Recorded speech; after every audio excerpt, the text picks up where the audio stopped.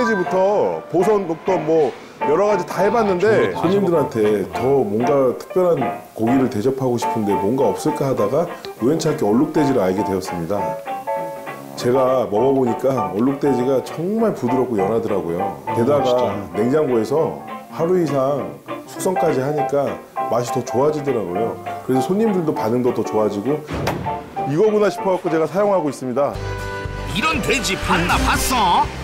육질이 좋고 마블링이 우수한 두 품종의 돼지를 교배해 만든 얼룩 돼지. 특히 일주일 이내에 도축된 얼룩 돼지만을 쓰는 것이 사장님의 절치.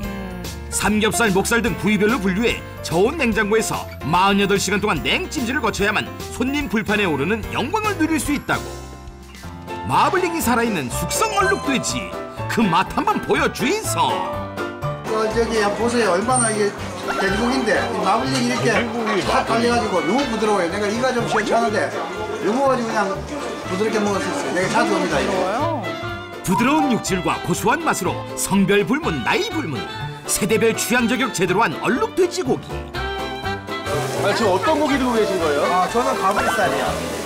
저는 삼겹살이요. 여기는 삼겹살, 목살, 가브리살, 갈매기살 네 가지 종류가 전부 다 무한 싱겁고 맛있는 고기가 무한리필이잖아요. 이런 고기를 어디서 먹어요? 고기 1인분 값으로 얼룩돼지를 무제한으로 먹을 수 있다니 여기가 천국이로세. 아, 저희가 아무래도 무한히 피다 보니까 금방금방 바로 순식간에 사라져요, 고기가.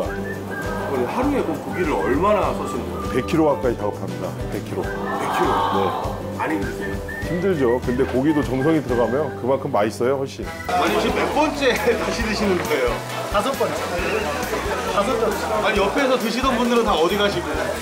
잠깐 쉬었다 먹는다고 잠깐 나갔다 온다고. 혼자 굽고 계신 거예요? 고기 먹을 줄 아는 사람만 안다는 숙성 얼룩돼지 맛있게 먹는 법 대공개. KBS